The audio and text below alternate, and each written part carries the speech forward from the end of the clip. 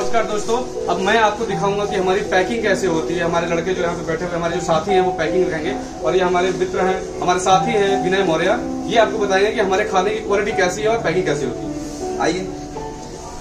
ये रोज की तरह हम लोग साढ़े चार सौ लोगों का खाना तैयार कराते हैं और बहुत ही सफ़ाई से हम लोग खाना यहाँ पैक करा रहे हैं। आप देख सकते हैं यहाँ पे हमारी कोर टीम है जो खाना पैक कर रही है। और ये अच्छे प्लास्टिक में हम लोग खाना पैक करा रहे हैं। इससे हाइजीन मेंटेन रहे। और ये हमारे साथी हैं अमित पांडे जी। और ये आपको बताएँगे कि हमारी पैकेजिंग कैसी होती है, क्योंकि हमारी मेन फोकस पैकेजिंग पे होती है। आप सभी को नमस्ते।